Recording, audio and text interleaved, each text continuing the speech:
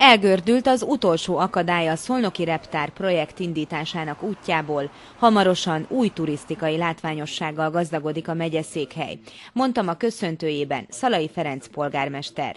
A Szolnoki Interaktív Repülőmúzeum a belvároshoz közel, az egykori vasútállomáson, az Indóház úton kap helyet. Régóta várunk arra, hogy ez az épület, ez az épület együttes, ez a része a városnak megújuljon, szebb legyen és máshogy is szolgálja.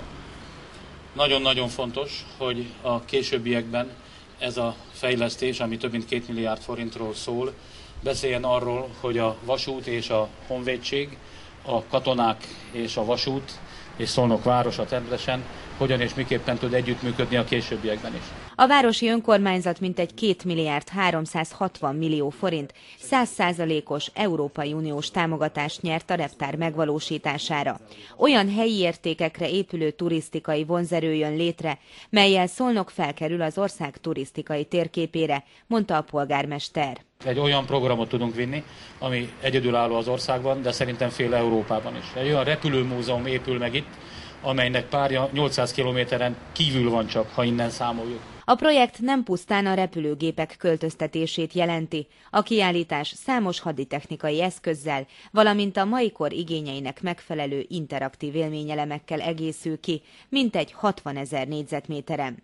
Világra szóló attrakció lesz, mondta Hende Csaba. A honvédelmi miniszter hozzátette, turisztikai szempontból kiemelten fontos a szolnoki beruházás. Igen messze földről is el fognak jönni azért nagyon sokan, főleg gyerekeket fognak idehozni, akik hagyományosan rajonganak a haditechnikáért és a repülésért, de sokan vagyunk az idősebb korosztályból is, akik nagyon-nagyon szívesen veszünk részt ilyen programokon, Szóval fantasztikus dolog készül itt. Az ünnepségen a honvédelmi miniszter, a MÁV vezérkarának és a város vezetőinek részvételével helyezték el az Interaktív Múzeum alapkövét.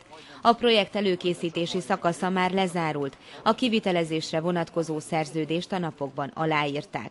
Várhatóan 2015. októberében költözhet a nemzetközileg is jegyzett katonai repülőgép gyűjtemény az egykori vasútállomás területére.